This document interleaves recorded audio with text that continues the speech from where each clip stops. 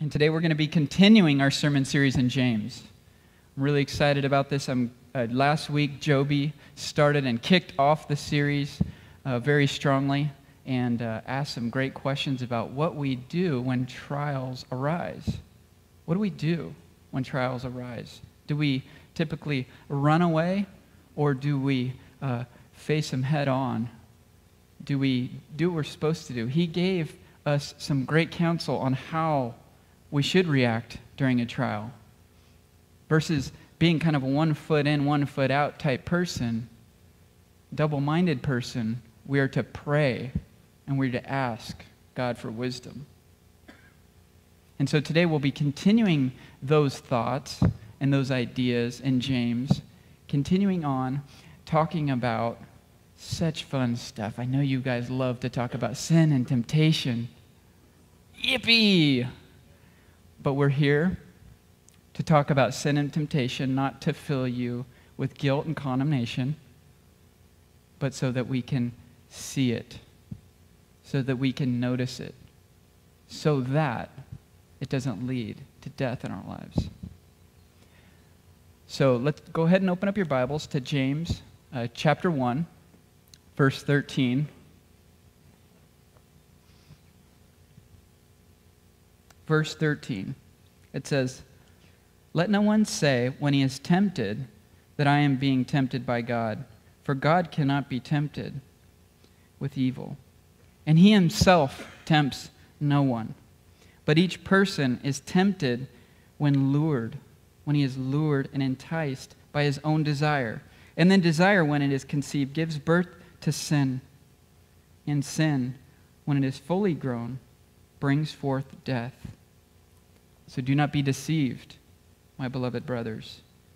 Every good gift and every perfect gift is from above, coming down from the Father of lights, with whom there is no variation or shadow due to change.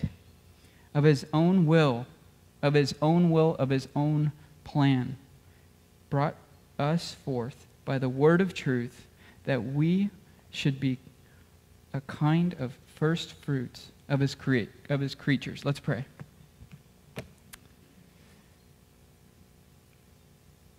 Father, we thank you for your word. We thank you for the honesty and the truth of your word. Sometimes it's not easy to hear the hard things that are in the word. But one thing, God, I pray that we be very, very thankful for is the honesty of the word. We thank you for the honesty of James and his instruction to us this morning. I pray, Lord God, that you would just take any thoughts that I have, any selfish motives that I have, and you would change my just even selfish and evil desires that I so often have, and you would mold them to be more like you this morning. So that, Lord God, I would preach a message that would be helpful to my friends here this morning that we would all learn something, we would all grow, and we would all, hopefully, by your grace, just walk away feeling the freedom we have in you. In Jesus' name we pray. Amen. Amen. So, verse 13. Let's look at verse 13 first. It says, Let no one say when he is tempted, I am being tempted by God. For God cannot be tempted with evil, and he himself tempts no one. I'm going to say something that's obvious to most of us because it's in the word and in my text today. God doesn't tempt anyone. You would, might actually agree with that theologically. You might say, Yeah, I get it. God would obviously never do that, right? That would be against his character. That would be a violation of who he is for him to tempt us. The Bible says that he is good. The Bible says that he is loving. So maybe if you're a Christian and you're here, you've never actually said or believe that God is tempting you. Maybe you've never directly said that. But maybe you've said things after something bad happens in your life. You just go, Really? I mean, Seriously, Lord? Like, why did my car break down this week? I mean, last week I had money, and it break, broke down this week. There's many things that we could say that don't exactly blame God for tempting us, but we act like these things that happen in life are His fault. We give Him the credit for the bad. If this life wasn't so hard, then maybe I'd actually be the disciple and the Christian that you've called me to be. How about this one? If I had better, I mean, fill in the blank. If God, you would just give me, then I would be this way. What is it for you? What's that thing that you feel like God is holding back on you and not giving you?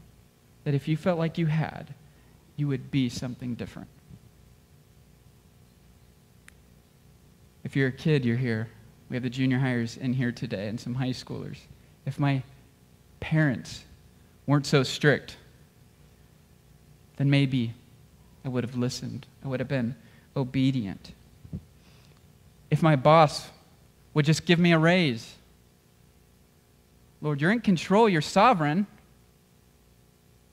Would you just convince my boss? Just show him what I'm doing here? I'm working hard. Just a little bit more. I just need a little bit more. So we're not actually saying that we believe that God would ever tempt us. But we do by the way we act, don't we? Through my complaining, I blame God for my sin. I'm saying, God, you corner me into sin because of the life you've given me. That's how I'm acting. But my friends, God doesn't toy with us. He's not an ant bully with a magnifying glass on us, enjoying to watch us suffer through life. He's not messing with you. He's in control of this world. He's in control of everything, even our Mondays. He's in control of your spouse. You're not. He's in control of your kids. He's in control of your worst enemy. Your worst enemy. Do you know who your worst enemy is? Let's go to verse 14. And here's James. I love James. I love the Word of God and its honesty. Here's James, verse 14. But each of you is tempted when he is lured and when he is enticed. By who? By who? By his desire. We are lured, we are enticed, we are tempted by our own desires.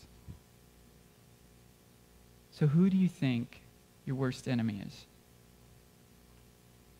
The bad news first this morning, I'll say it as lovingly as I can. I hate to say it, but you are. I'm my own worst enemy. If you're a mom, I mean, little Johnny didn't make you get upset. Your own selfish desires cause you to do that. We are tempted and we are enticed by our own desires. This is bad news for us. But just the same, I hope you can receive that this morning. Paul Tripp says it like this this is in your notes. It's only ever the evil inside of you that hooks you to the evil that's outside of you. I'll read that again. It's only ever the evil inside of you. What is going on inside of your heart? Your desire to have it things your way. Whatever that be, your desire for comfort above all things, your desire for control above all things. That desire, it's only ever the evil inside of you that hooks you to the evil that is outside of you. So when Adam and Eve sinned in the garden, it wasn't the apple's fault. It wasn't the enemy's fault. It was their fault. It was their hearts. that lured and enticed them to bite the forbidden fruit. The heart is the engine that runs our bodies. It controls our minds and it controls our desires. In the Word of God, there are over 900 verses on the heart. Jeremiah 17:9 says, "The heart is deceitful above all things. It is desperately sick. Who can understand it?" And the word says, "For out of the heart evil thoughts, murder, adultery. That's where all of these things start. Starts from our hearts. So sin is not first a behavioral problem. Sin is first a heart problem. Sin is first not a behavioral problem, the things we do. Sin is first starting, the root of sin starts at the heart. Eric's dark heart, Eric's dark heart is the reason Eric sins. Eric is lured and tempted by Eric's own selfish and evil desires. The enemy gets way too much credit for sin. Way too much credit. The devil didn't make me do it did not make me do it.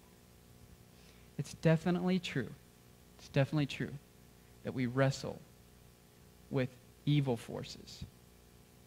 We wrestle and we get tempted by the enemy. That is definitely true. I am not going to ignore that verse. But we give it way too much credit. My biggest enemy is not Satan. My biggest enemy is me. It's funny when I was studying I call this funny. It's not really funny, but it's kind of funny. I'm studying on temptation. And you'd think that I wouldn't be tempted when I'm studying on temptation, right? And I was lured myself. It was 9:30. It was on Monday night. And like I explained to you guys earlier, I had lost 8 hours of sermon notes.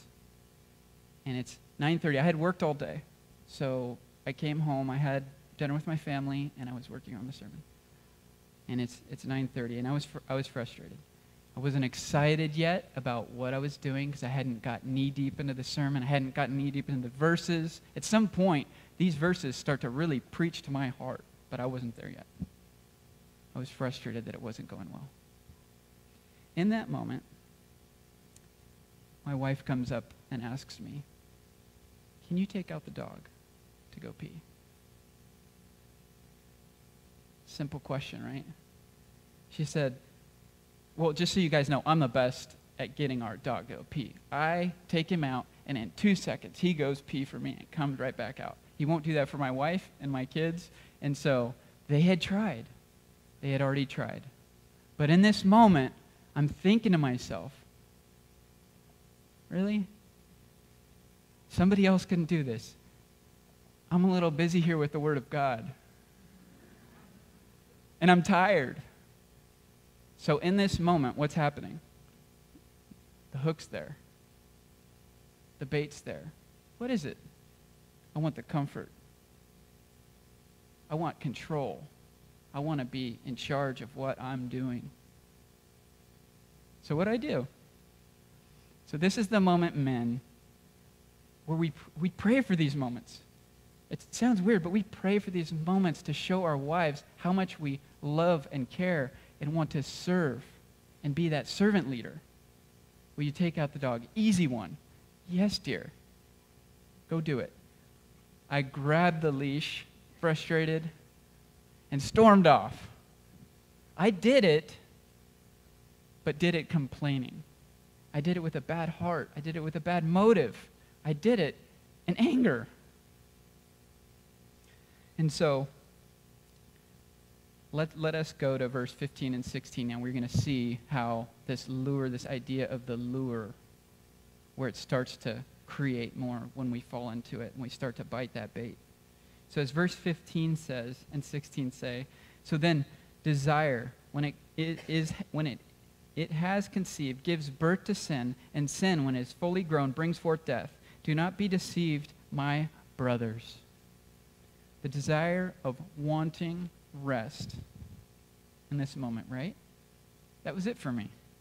My moment of wanting what I wanted, my comfort. I wanted my control. That completely took over to me. And like I said, these are the moments that we have. These are the moments. And I missed it. Proverbs 14:12 says, "There's a way that seems right to a man, but in the end leads to destruction." My way seemed right in that moment. I need to just stay here focused on this sermon for the next 5 hours. And you interrupted me.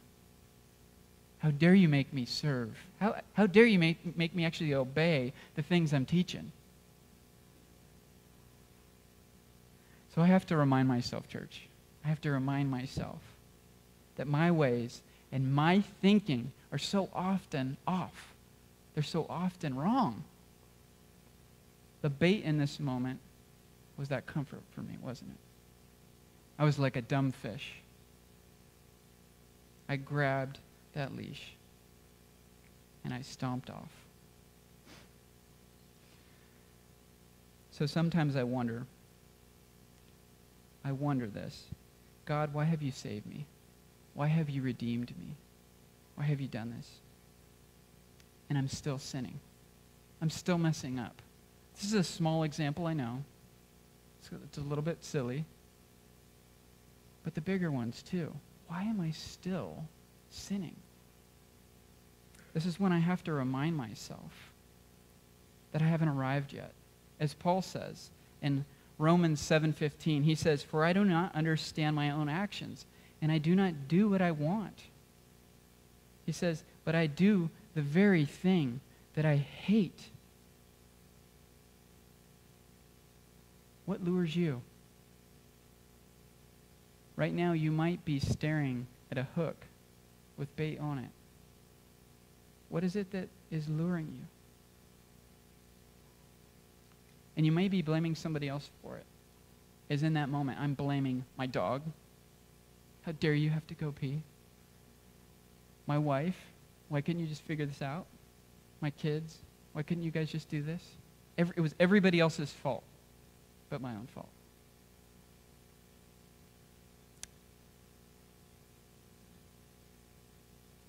This is where I have to remind myself that I haven't arrived yet there's something still deeply off with me, right? We aren't there. That I crave what I shouldn't crave, and I don't do what I should do. I don't serve my wife so often, but instead I'm on my phone. Why do we do this stuff? Church, the bad news is is that we can be a big mess. We can be a big mess. And that more bad news is we can be our own worst enemy.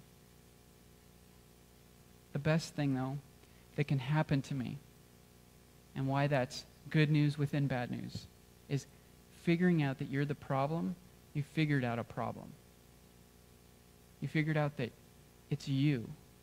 It's not everybody else you need to work on you. The best thing that could happen to yourself is you get to the end of yourself, like the prodigal son did.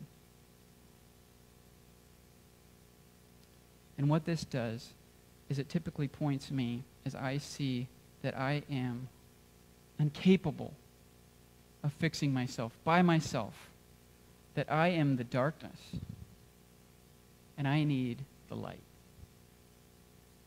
That's good news. That is a good, great realization to see that you are in darkness and you need the light.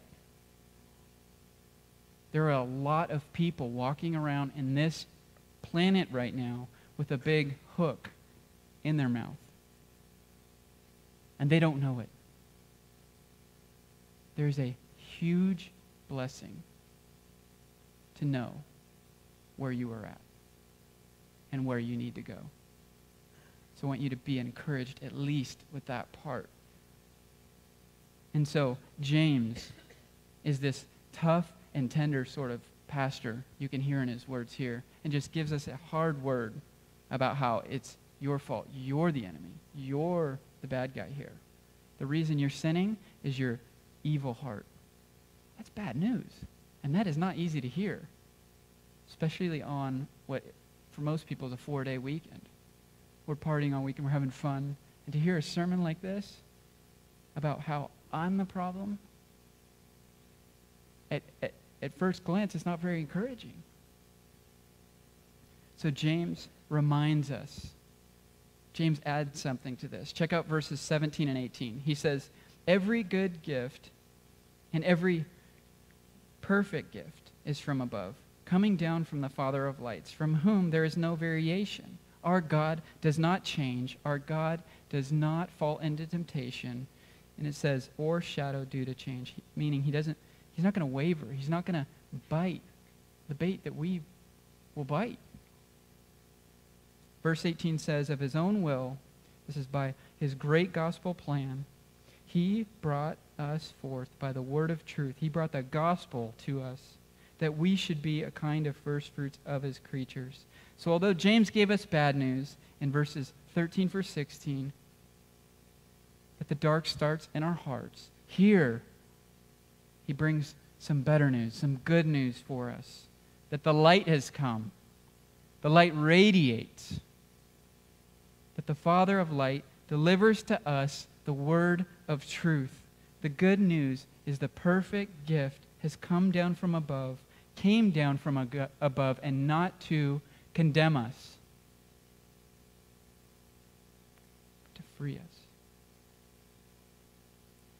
For God so loved sinners like me that he gave us, he gave me that light so that I could have eternal life so that I could be forgiven.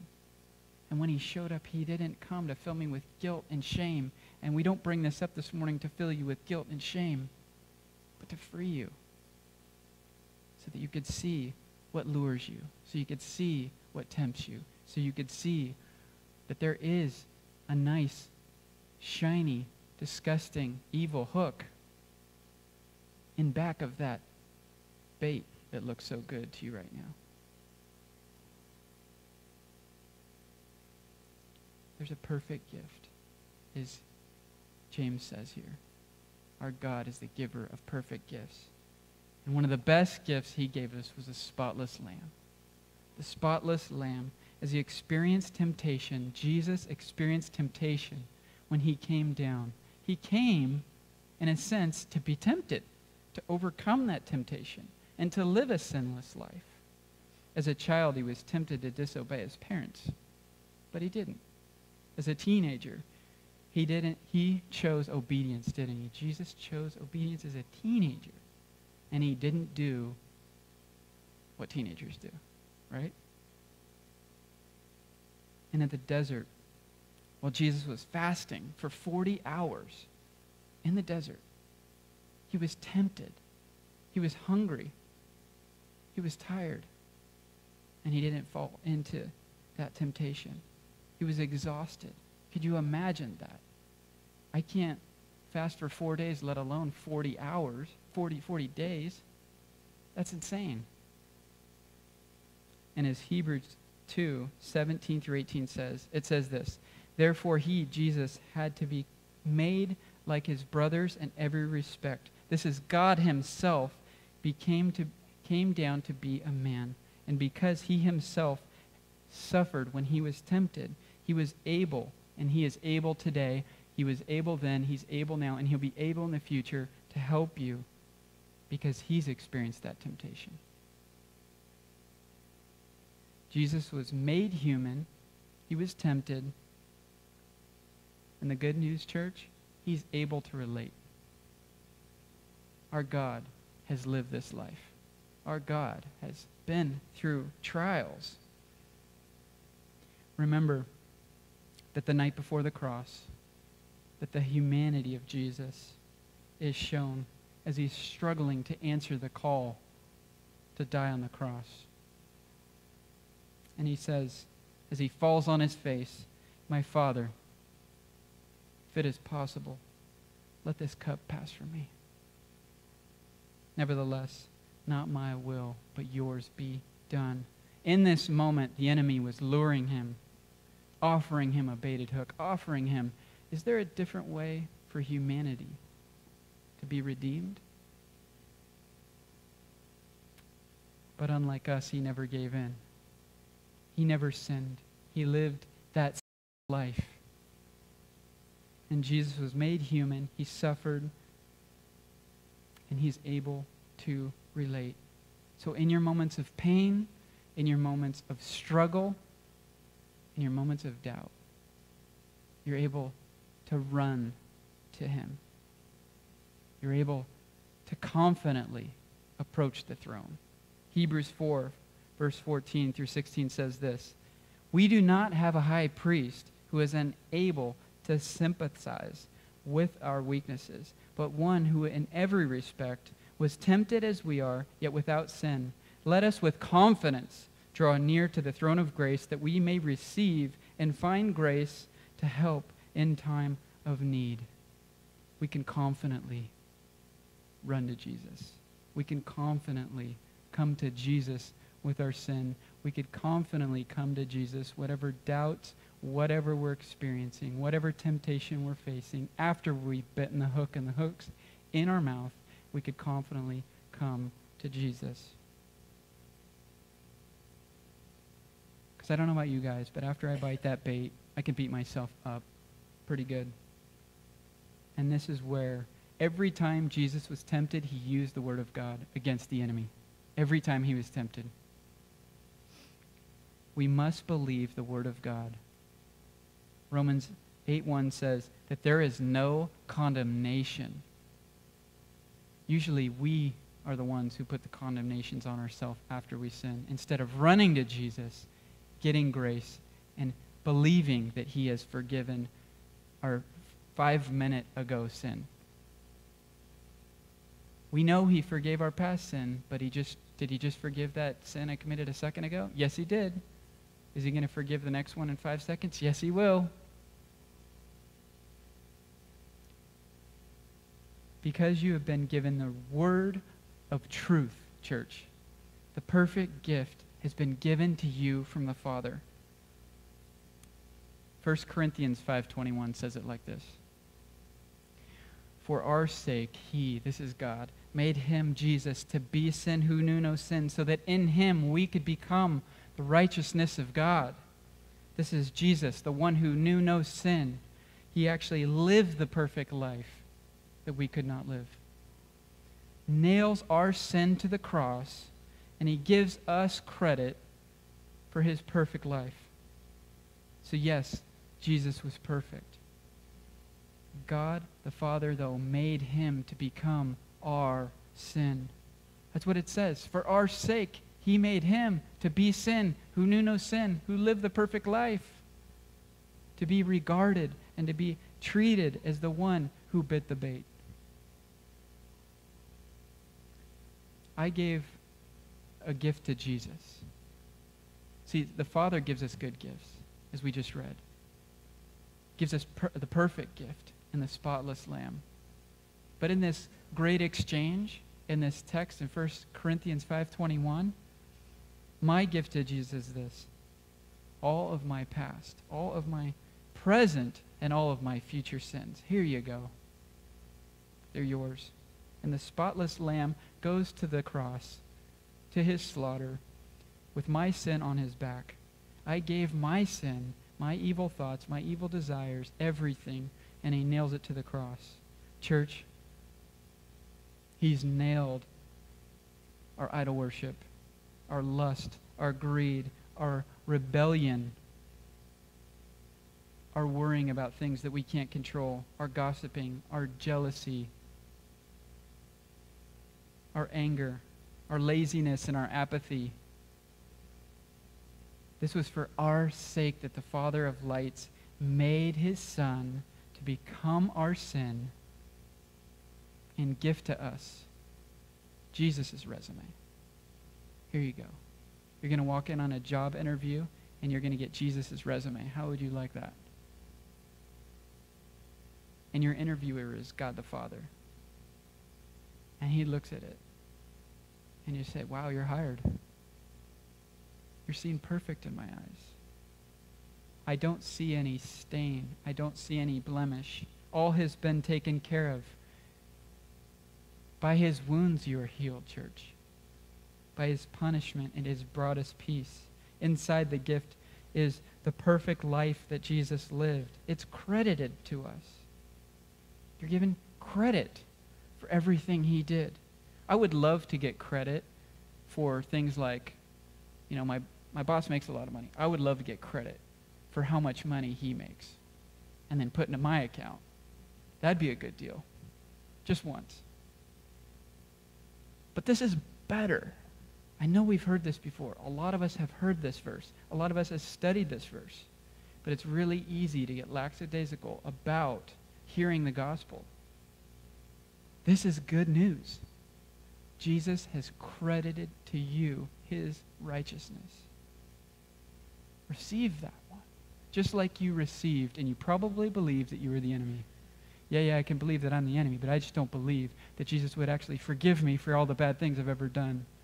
I say I do, but I don't really act like I do. Do you live free? Do you believe that your Savior has traded your sin and given you his perfect and spotless life. Because he has. This is why it's called the good news. That's why there's bad news before the good news, because the good news sounds even better. And he can look at you with new eyes, church, because your sin is completely paid for. He doesn't see what you did five minutes ago. He doesn't see what you're going to do and He doesn't hold it against you. He's not withholding anything from your life because you bit the bait. This is why we can say, the old has passed away and the new has come. We get credit for his obedience, and God the Father is now pleased. If you are a Christian, if you are in Christ, So not only are you pardoned, you're pardoned by the great judge, but you're also seen perfect in his eyes and you're given a new identity. You're given a completely new identity. This drastically changes us in light of the great exchange. We're brought from darkness into light. And I'm reminded that, as I said earlier, although I'm a mess, although I'm my own worst enemy, that he brought forth the word of truth to me. He revealed that to me. The good news, the gospel, his word reminds me that through and though my desires are so off, so often, that Psalm 37 4 says it like this Delight yourself in the Lord, and he will give you the desires of your heart. So if you're here this morning your desires are completely off, you're not excited about the things of God, you're not excited to serve the church, you're not excited to come to church, you're not excited about the Word of God, you have no motivation to even lift your hands up and sing. Pray this verse that you would delight yourself in the Lord, delight yourself in Him who traded all all, all, all of your sin and gave you his perfect life.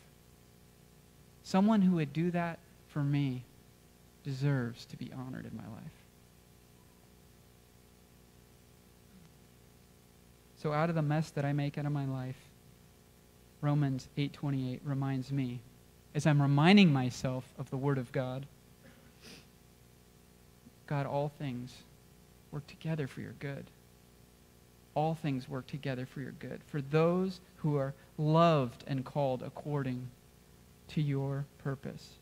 So be encouraged, church. You have been set free from sin and death by the power of the word of God, by the power of the gospel. Galatians 5:1 says it like this: "For freedom Christ has set you free. Therefore, stand firm and do not submit yourselves again to the yoke of slavery." Stand firm. Know that you are free. Don't run back to that jail cell that you've been freed from. The keys were thrown.